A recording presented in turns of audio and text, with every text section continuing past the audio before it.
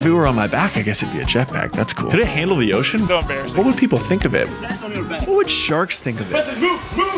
Foreshadowing. Someone needed to answer these questions, and I guess it was going to be the advertising major from the University of Georgia. Wait, are you talking about yourself? I am. Each one of these has a little finger throttle doohickey. And we were gonna see if my pool could handle its power. Dude, that's a bathtub. Test number one.